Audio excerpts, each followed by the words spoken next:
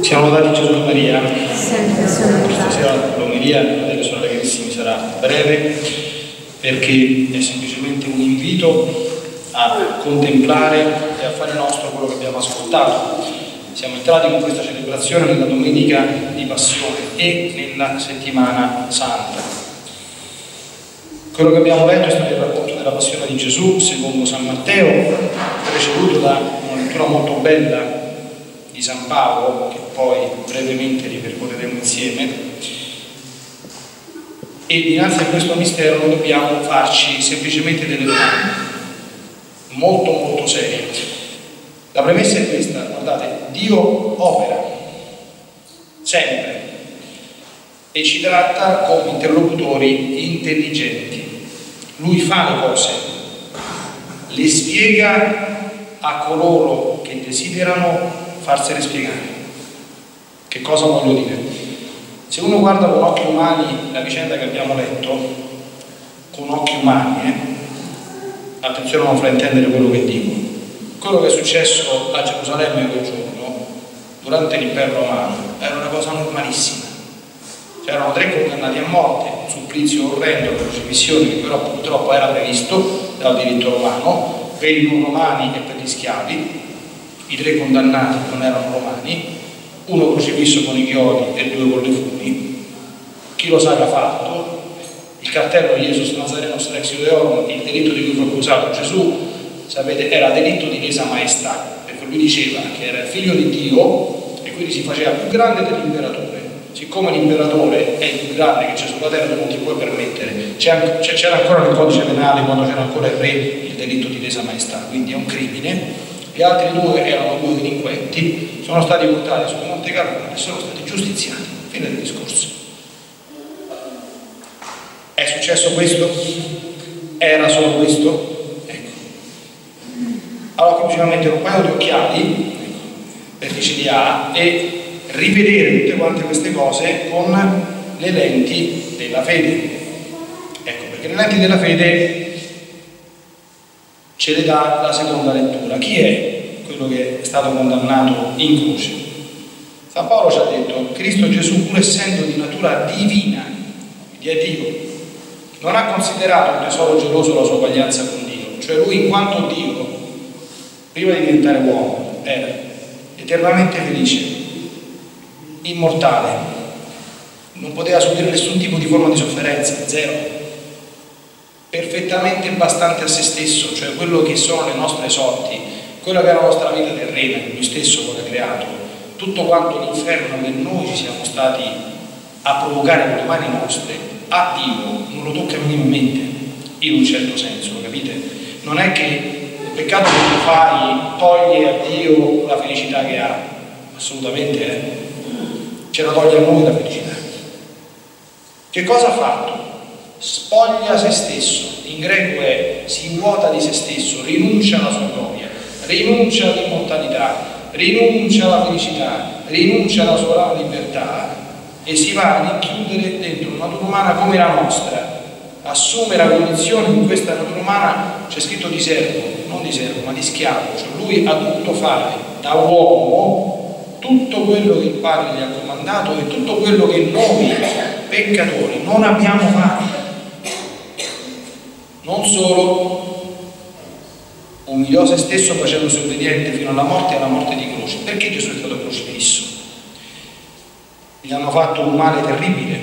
Gesù in croce, sentiremo il venerdì santo, era uno dinanzi al quale ci si copre la faccia. Oh, io mi raccomando, questa settimana ci sono un sacco di appuntamenti, vi prego di leggere il bollettino così non ve lo ripeto troppo. Uno è un appuntamento extra liturgico, è di martedì sera, io vi raccomando di partecipare in massa perché c'è uno stupendo film documentario sulla Sacra Sindone, cioè se volete rendervi conto di tutto quello che Gesù ha passato scientificamente, colpo per colpo, dettaglio per dettaglio, quante frustate ha ricevuto, come erano le spine, dove gli hanno messi i chiodi, come è morto, vi sta spiegato tutto. Io penso che sia il nostro dovere farlo noi dobbiamo renderci conto di quello che Gesù ha patito per noi, perché se non lo conosciamo non possiamo essergli grati. non possiamo, cioè il racconto, la lettura del, del Vangelo della Passione ci, ci, fa capire qualcosa a poco rispetto a quello che è stato. E perché Gesù ha sofferto tutto quello? Attenzione, perché tutto il male che noi abbiamo generato, non lui, se l'è preso tutto su di sé. Capite? Tutta la montagna di male che l'uomo dal primo all'ultimo produce, aprite il telegiornale, vediamo tutti i giorni, è tutto quanto concentrato e passato su di lui. Perché prendendolo, lui essendo il figlio di Dio, lo distrugge attraverso l'amore e attraverso la risurrezione per dare a noi la possibilità di tornare a vivere, liberati dalle tenebre, dal potere del male e del peccato. Questo è quello che dice la fede. Umiliò se stesso facendosi obbediente fino alla morte e alla morte di croce. Attenzione, noi dobbiamo chiederci non diamola mai per scontata questa domanda, me lo sentirete dire tante volte perché pure io me lo devo chiedere. Io non sono diverso da voi, eh. Vi ricordo sempre che Sant'Agostino diceva ai suoi fedeli, io per voi sono vescovo, ma con voi sono cristiano.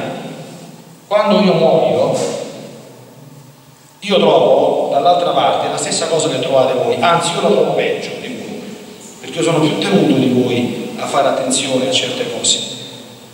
Gesù ci verrà davanti con la croce davanti, guarda cosa ho fatto io per te tu l'hai accolto quello che ho fatto per te?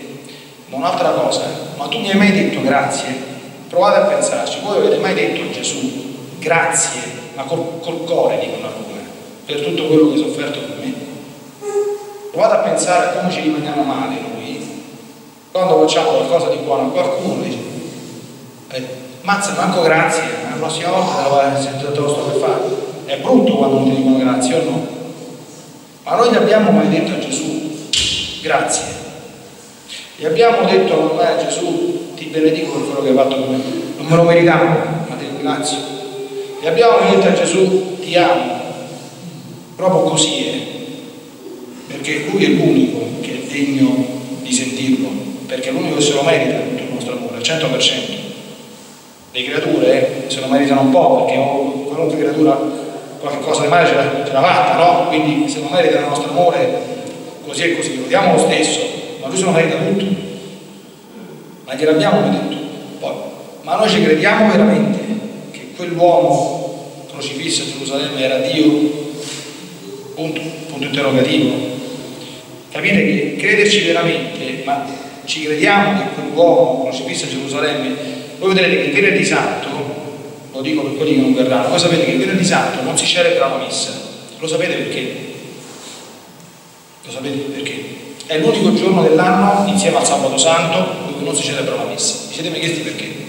Ricordate che se muore qualcuno non si può fare la messa neanche per il funerale, eh? il venerdì e il sabato santo, si fa il funerale senza la messa. Vi siete mai chiesti perché? Perché la messa in realtà è una, cioè quello che abbiamo ascoltato nel Vangelo, quella è la messa.